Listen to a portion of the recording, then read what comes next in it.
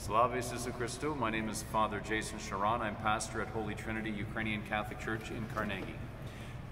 On the occasion of Ukrainian independence, which is coming up soon this month, we call to mind the words of the servant of God, Metropolitan Andrew Sheptytsky, who spoke prophetically that our church will see a great springtime. What is a springtime? A springtime is when there is new life. So, what does it mean for a church to have new life? It means that her members live according to the lifeblood of the Christian life, and that's faith. When we will have a people who live according to faith. And that's Ukraine's gift to the world. It's not just the independence of a state, it is the gift of her people. And the gift that her people have received from God is the gift of divine faith. And it is something that our world and specifically Europe needs at this time more than ever to live not according to the world, to live not according to faith, but to live according to that great faith that our church exemplified during its underground years. And that is the gift that our Ukrainian people are to give to the world and to Europe in her fight against foreign invaders, in the fight against foreign ideologies. Whatever the fight is, the gift we are to give is the gift of faith. And in so far as we do that, is far as we will enjoy that great springtime that Sheptytsky prophesied for us. Glory to Jesus Christ. Slava Isusu Christu.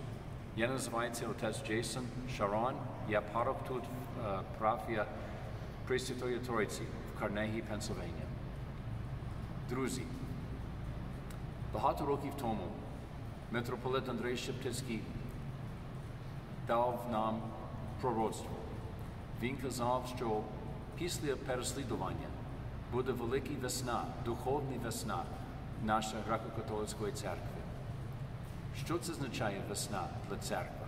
Це означає, що людей, які належать до тої церкви, що вони живуть східно з божественною вірою.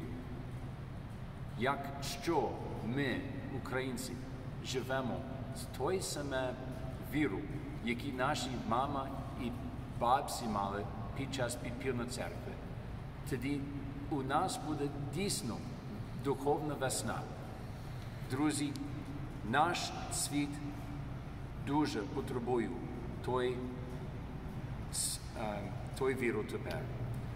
В Україні ми маємо приклад від Росії, що то є держава, яка не живе східном з християнської віри. То є агресивний народ, держава, перепрошую. І також в Європа то є народ, який забули про Бога.